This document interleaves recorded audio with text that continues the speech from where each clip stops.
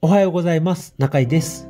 今回、やっとです。やっと固まる土を約30平方メートル以上施工できることになりました。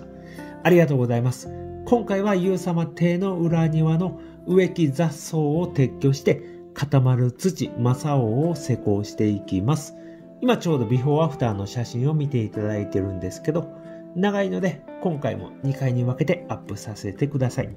前編で既存の土植木雑草を撤去して、今写真の右下に見えていると思うんですけど、ホームセンター製の花壇ブロックを積みたいと思います。で、後編で採石を敷き、固まる土、マサオを施工していきます。では行きます。まず前編、今日は聖地と花壇ブロック積みいきます。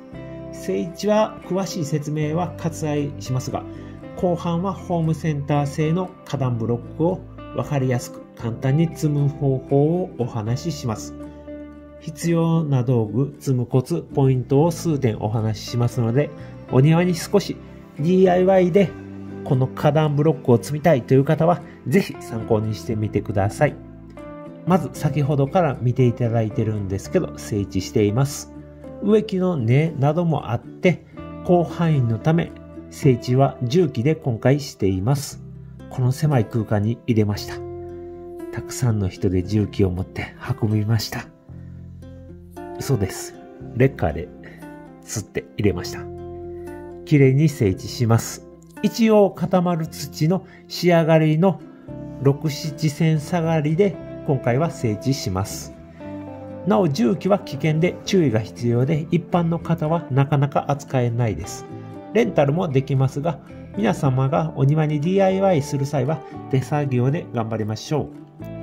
免許がいったり、ヘルメットが必要であったり、重機のアームの旋回内には入らないなどありますが、私も若かりし頃は重機の失敗もありました。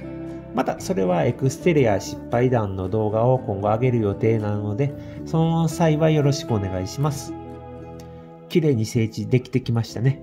では、続いてホームセンター製の花壇ブロックをこちらに積んでいきたいと思います。ちなみにこの花壇ブロックは1枚100円台から少し大きめのものだと200円、300円とします。今回は100円台のものを使用しています。で、この花壇ブロックは曲線円形にも簡単に積めるようになっています。積む形とどういった材料でどういう積み方をがするのかということがあります。積む形は直線に積む場合と曲線円形や楕円形に積む場合があって積み方材料はレンガやブロックのようにセメントで積むのかまたはもう簡単にセメントを使わずに既存の土で押さえて並べていくだけにするのかがあります。今回は既存の植木に沿って楕円形にセメントで花壇ブロックを積んでいきます。直線以外、円形、楕円形をきれいに積むポイントは、ほんと2つだけです。この2つを守っていただいたら、ある程度は一般の方でも綺麗に積むことができます。1つがブロック1枚1枚を水平器でまっすぐ水平に積めるかということが1点と、もう1点が花壇ブロックすべて全体の高さをなるべく揃える。この2点だけ本当に注意すれば綺麗に積むことができます。余談ですが直線の場合は水糸を張ってレンガや通常のブロックのように積みますので曲線円形よりも簡単に積むことができます。まず花壇ブロックを積む部分の下地をきれいに同じ高さくらいに掘って整地していきます。先ほど言った花壇ブロック全体の高さを揃える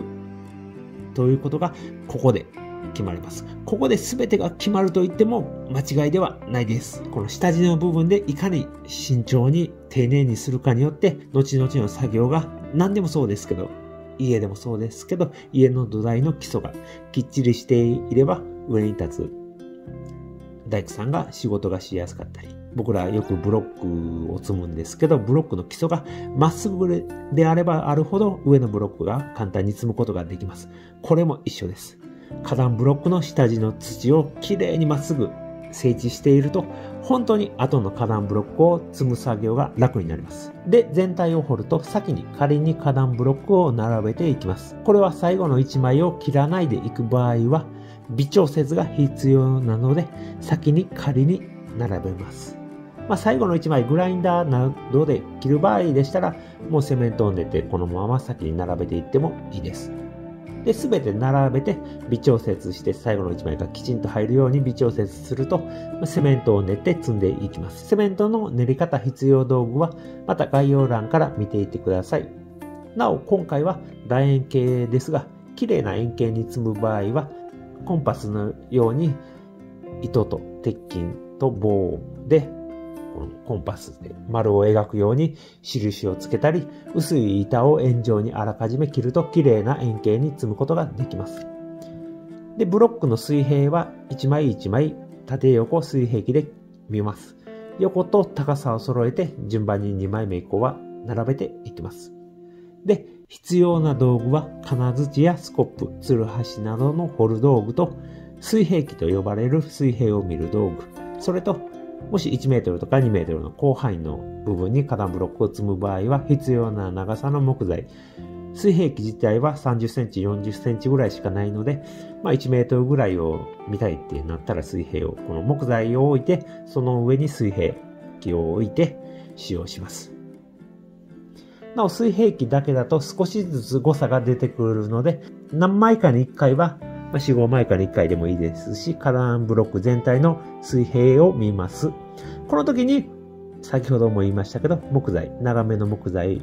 まあ、今回はスタッフといって、アルミの棒を使っているんですけど、まあ、木材でもいいです。ホームセンターで数百円で売ってます。長めの木材を置いて、その上に水平器を置いて、全体の水平を見ます。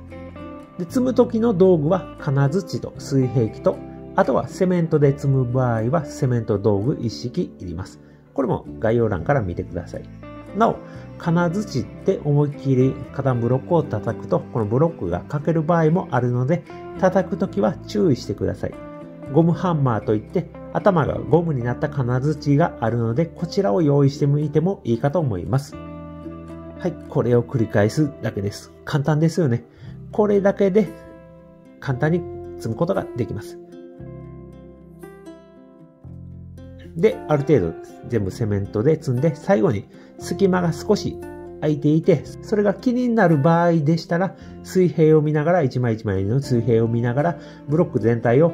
叩いて隙間を、内側に隙間を縮めていきます。以上で完成になります。見ていきましょうか。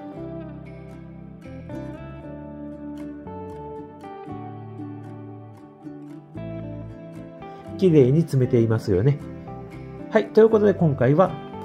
土を整地して、ホームセンター製の花壇ブロックを積みました。次回は